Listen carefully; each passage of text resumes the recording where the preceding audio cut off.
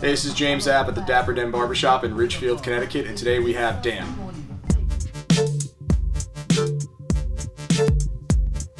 All right, Dan, what are we doing today, man? Uh, just basic. Want to keep it long on top. All right. Uh, real short on the sides.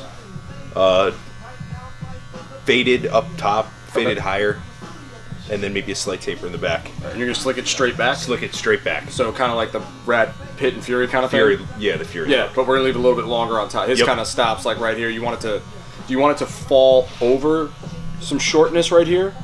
Um, Like, I don't know. bring it, like, artistic license with that. I don't know how that would. Artistic Yeah. license. Yeah. Hey now, okay. I don't know. That's a. What do you? Th- how, how would that even? Well, I mean, yeah, it's up to. You. I mean, we could also do that, and we can just blend it into something. That look like that would look a little weird. Look a little As more long like as it a, doesn't go like a comb over. mohawk. Yeah. No, it won't look like a You comb know? over at all. Just look like a really like undercutish but slick back. okay, perfect. Yeah, yeah. And we're gonna do. So I want to do like a two on the sides up through here. Yep. Make it nice and tight, which will elongate your face. You can already see it's longer right now. Mm-hmm. It's not doing that. And then we're gonna kind of taper it out. We might do like a half or a zero taper right down here. Yep. bring it back, zero out the back and everything, clean up the top. Um, beard, what do you want to do with that?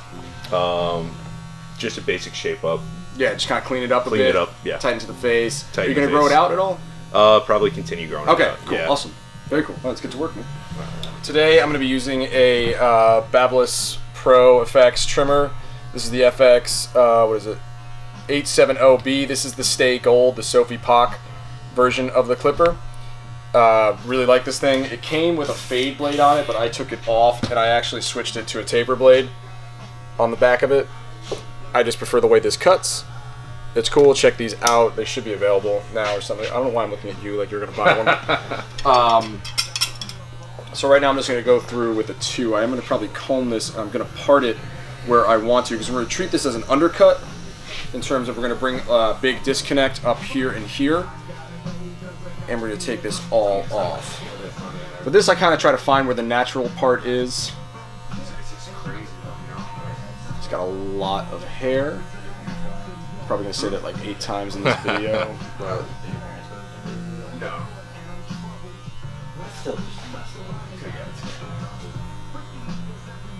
I kind of take a look in the mirror of where that's at right now, and that's pretty much where I want it to be. It's a good look. That's a good look. I think we're pretty much done. I say that all the time too. so we're gonna start with this side first. And these are great, man. These you just stick on just as is. They hold the hair pretty well. So we take my Cool Care. People have been saying like you know it takes 10 minutes to disinfect. Correct. It does take 10 minutes to disinfect, but it's also a 5 in 1, so it does lubricate, which is mostly what I'm using. I do disinfect these after I'm done using the clippers. I move on to scissors. I'll disinfect them really quick and by the time I go on to the next cut, I'm just lubricating them, so they are disinfected. Uh, using the two guard on this, and we're just gonna start taking off some bulk here. You ready? Yeah.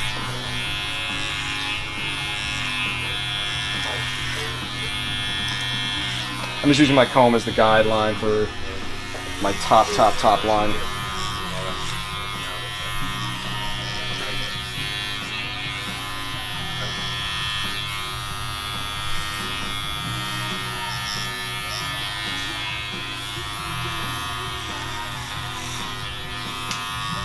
Just getting all this bulk off. So Dan, what made you want to cut the hair off then? Oh, it's just totally unmanageable. How long have you been growing out for? Uh, it's about probably maybe nine months of growth. Nine months. So Nine months. Not, fair- not not terribly long. I mean, I've gotten it trimmed since then, but exclusively just growing it out without getting it. Got one- Yeah, about nine months. I'm gonna constantly be blowing the hair off of him right now.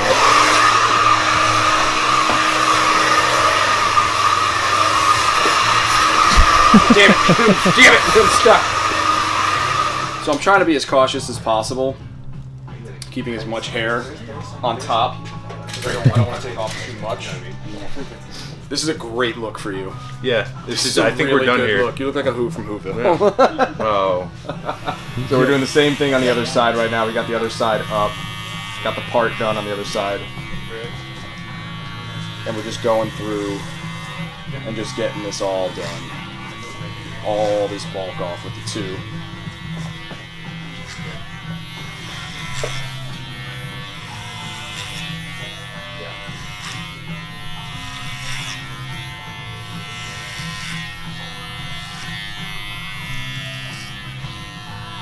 Sure I get around the ears. I am I'm going to go back over this with a shorter number, but the more I take off, the easier it's going to be in the long run. Now I'm just going to go through with my two and make sure I got everything I want to get with that two.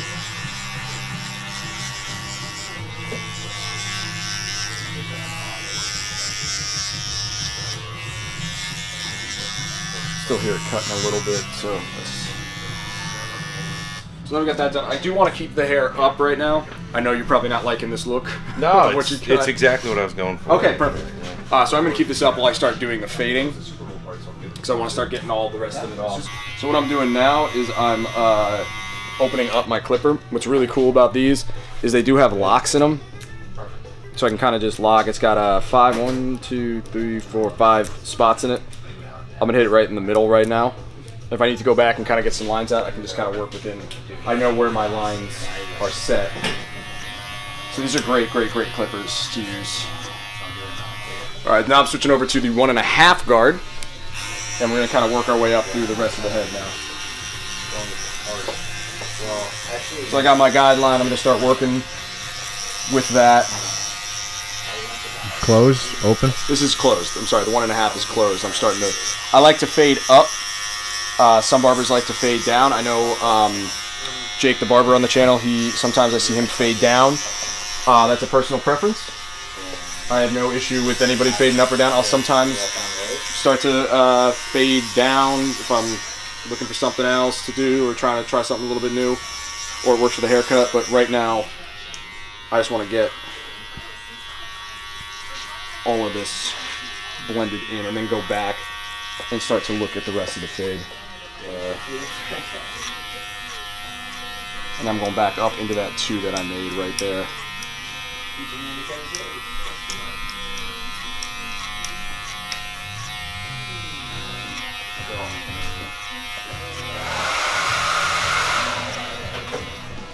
All right, so now what I'm gonna start doing, I got a little more work to do up here, but I wanna start seeing the, the haircut come together first. So I'm gonna zero out the back. I'm also probably gonna zero out the uh, sides too to give it a nice taper. So again, I'm sticking with my Babyliss here. And I'm just gonna go a little bit up. This is why I went high with my one to begin with, so I give myself some room to play with uh, down below. I'm kind of I'm kind of scraping at the hair right now, just to kind of get it to blend. I'm I'm kind of seeing off with it. Now I asked Dan before about the redness back here. I asked him if he had any irritation or something like that. He says you're not feeling anything, right? No, no, no irritation or anything great. like that. So this could have been because of his long hair. You know, he could have not been getting enough moisture to his skin or something like that. Uh, it could be a rash or something like that. Either way, I'm going to sanitize my hands now. Jeez. It's really not gnarly. It's not that bad, dude. It's just like it's just dry skin, really. So right now I'm going to start to zero out this. I want to give him a nice taper and kind of blend in the beard because you can see there's a little bit of a notch here in the beard. I want to work with what he's got. So I got this 0 I'm just going up right above the ear. I'm also making a mental note of where I'm putting this because I'm going to have to do the same thing on the other side. So I'm kind of at the middle of the ear right now. So we're going to go up. Then it opens up just a little bit. And again, we're going just little, little tiny increments. And we're seeing off, so we're not making any hard lines. Open it up fully. See off with this whole thing. So I talked to him already. He said I asked him if he was feeling any irritation because it's a little bit red right now. He said he's not really feeling anything. He just has a little bit of sensitive skin where it's kind of turning red a little bit. Now this is good for me to know. For when I ask him, I go to shave his neck right now. His neck might get a little irritated. So I didn't ask him. Sorry, does your neck get irritated when you shave at all? Uh, not generally, mostly just the. Mostly not. Yeah, because I, I shaved for so long, so it's not. So it's used to it. You're Yeah, ex-military, right? yeah. Okay, yeah. So he's ex-military. He's used to shaving everything like that. But I am going to be cautious when I go down there. I'm going to check it when I use the T-liner on his beard to see if he gets any more irritation. So now we're going to do the same thing on the other side. Went back and cleaned up the back a little bit. I might go back and forth, see some spots that I missed and everything like that. A little darkness here. But again, I like to see the shape of the haircut come through first. So what I'm going to do now is I'm going to take my Babyliss uh, T-liner, this gold FX one. If you've not tried this out, give this a shot. This thing is unbelievable. The weight of it, everything. And we're not like sponsored by uh, at all. We just really like their products, so don't think that we're trying to give you a push. But this is just stuff that I like to use personally. I have to start getting myself a line here. I'm just gonna go right over the ear.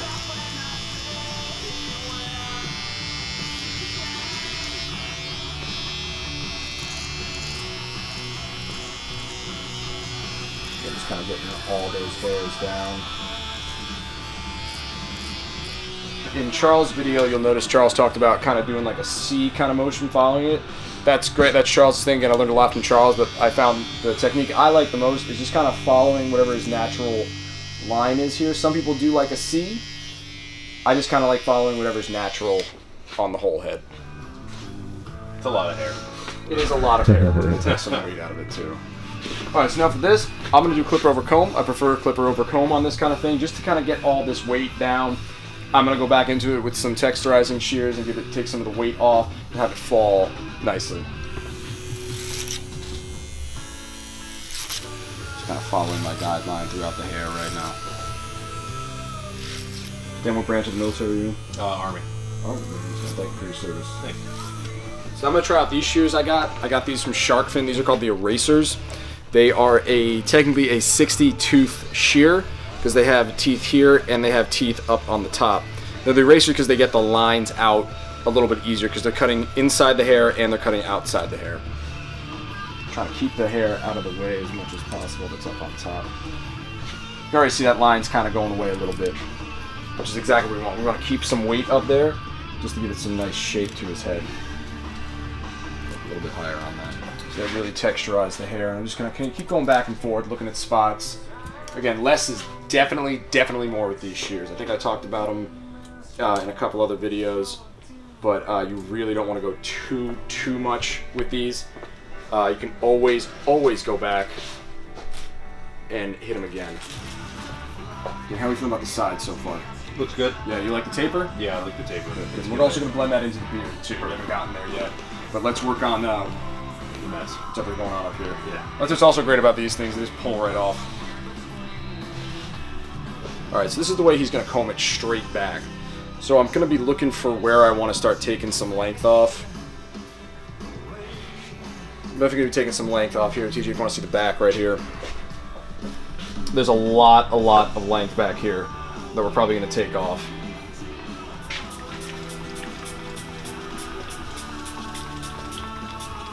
So you start styling, you're going to start styling back like that. Yeah. But we want to get some of the weight off here. because then it's going to start going like this. Mm-hmm. That's not really what we want it to do. We kind of want it to go straight back. Right. And we want to, you know, try to use as little product as possible, even though, you know, you're, you are going to definitely need some product 'cause the way your hair falls. All right, so we got it combed back. We got it wet. Now what we're going to do is we're going to start taking some length off. I want to start at the back. I know some people would start in different directions, but I want to start at the back first.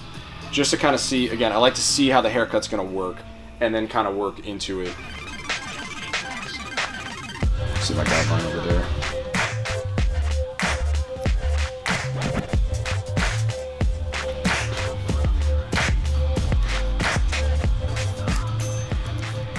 Okay, so now we're going to start working on the side. Now, what I got to do for, I'm going to treat this as a normal undercut. And what I'm going to do is I'm gonna push the hair side to side on this. See my guideline.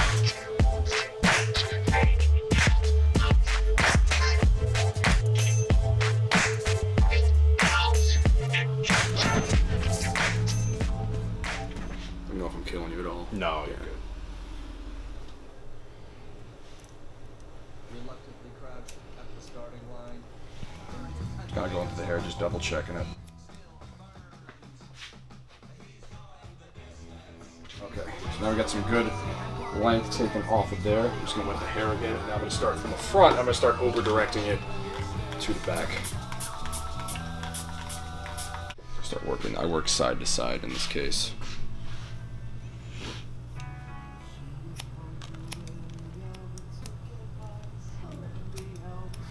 It's going out nice though. No, it's definitely coming out nice. I like it. Mm-hmm. Brad Pitt. Brad Pitt and Fury. Yep. Okay, so this is what we're gonna have the issue with is right here. Yeah. So I know what we're gonna do. All right, so now that we finished that up, we got some good length off. Now what I'm gonna start to do is, I know this is gonna become a problem. I like cutting guys' hair because they usually like low maintenance, and it becomes a challenge to figure out how can I cut this hair so that it's going to come out easy for them, so they don't have to worry about blow drying it and putting you know way too much product in when they you know are upset with uh, you know how much work they have to put in to make themselves look good when they can just look good just by waking up and doing a little bit of product here and there. So I know this is going to be an issue for them right here. This issue right here, all this weight. So I'm just going to take my scissors and just do scissor over comb, just going straight up naturally with it.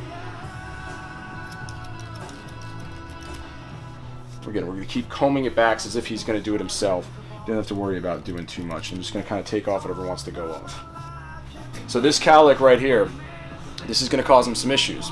So, I'm just going to go up through it and just try to take it off. Just go little by little. Again, less is always more in these circumstances because you don't want to take off too much hair. So that's already helping him in terms it's not falling too much on that side. So now I'm just kind of point cutting with scissor over comb on this thing because I want to get some texture in the back here. I don't want it to be perfect. I don't like undercuts um, that have a super, super, super hard line in it. You know, I want some some definition, some texture in it. So I'm just going to start chopping at this.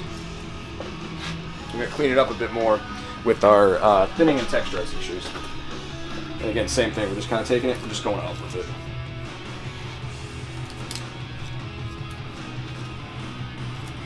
This, I just want to get a lot of this weight off so he's not killing himself there. Yeah, it's already starting to. You see how much better? It's easier now for me to comb Yeah. that even.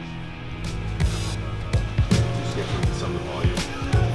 Yeah, so it's not as weight because you have a lot of hair. Because you only got a haircut in what nine months, you said? Yeah. Yeah, so it's getting rid of some of the weight, so it's gonna make it easier for you to, you know, move your hair around a little bit. It's not gonna fall. Like you see, it's kind of going like that. Yeah. We're trying to stop that from happening with the weed. We're just gonna start to get it. Yeah, so I'm just going in with my thinning shears, texturizing shears, taking out spots that I think have too much weight. All right, so for the beard, what I want to do is I'm just gonna take um, my comb and my Babyliss uh, T-liner here. And I'm just gonna kind of find that spot in his cheek. I'm just gonna pull off here just a little bit. That already blends it very, very, very nicely. His beard is super, super, super coarse. So I'm just gonna comb through it. I'm sorry if I'm hurting you at all. No, it's I just gotta get through it. So you can see the neck is where the issue really lies. Now again, I like to take where the Adam's apple is, do about a finger above that. That's my starting point. Just kind of work through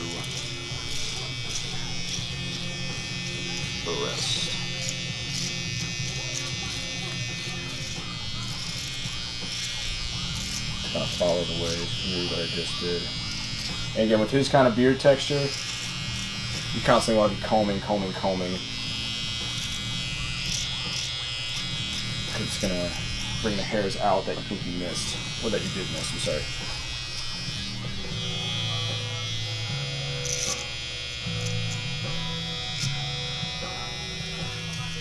Just kind of going over the side to help myself out when I hit it with a straight razor.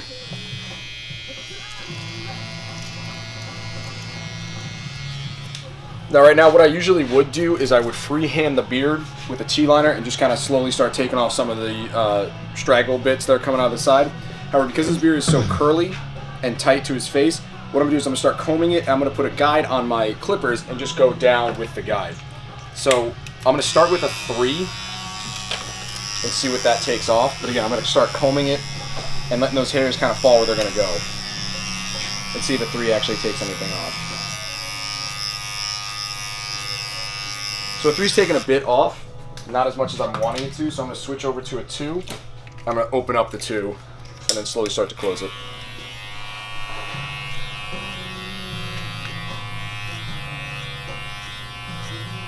You can just about hear it cutting. I'm gonna go down two notches on this thing. Again, that's what's great about these clippers is you can you know where you stand with the notches, so that if you do somehow lose your place, you can always get back to it. I get here, I kind of open up the clipper a little bit more. Give him a little more uh, girth down at the center of the chin. All right, so now what we're gonna do is we're just gonna take the, um, we're gonna start straight razoring his neck. So I'm just gonna get a hot towel, put that on. All right, so we're always testing the hot towel on our wrist to make sure if it's too hot for my wrist, it's going to be way too hot for his neck. Is that too hot, man? No, it's good. Always double check, too. Still good? Yep. Good. So now we're just going to let that open up his pores real quick. Get my razor ready. All right, so I took some Elegance gel, shaving gel, I put that on his face. Now we're just going to start lining him up.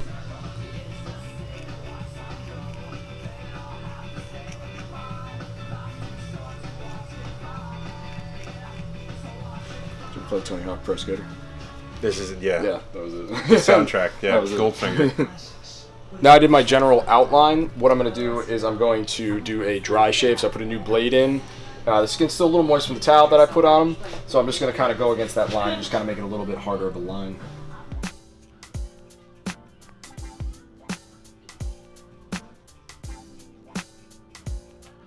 All right, Dan, how you feeling? awesome. Good. That's exactly what I was looking for. Cool, cool. We're Down to the beard. cowlick Yeah. thing. It'd be nice when it goes, gives it a little bit of a bump kind of thing. Little boy meets world kind of. No, it's perfect. All right, so we're gonna put a little Yeah. bit of product in him. All right, so now we're just gonna use a little bit of styling balm in his hair, and we're gonna put a little bit in his beard just to keep down some of these straggle bits right here. Uh, he's gonna continue to grow it out, so he's gonna start using oils and everything like that to get rid of the itch, so he gets through that uh, whole phase, so he can continue to grow it out. But right now, we're just gonna use some Four Vices styling balm. Uh, this is my favorite one. It's supposed to mimic uh, coffee, tobacco, cannabis, and hops. It's supposed to be the scent it's supposed to have in it, so I enjoy that. We're gonna take a little bit of stuff here, rubbing our hands, get it warm. I'm just going to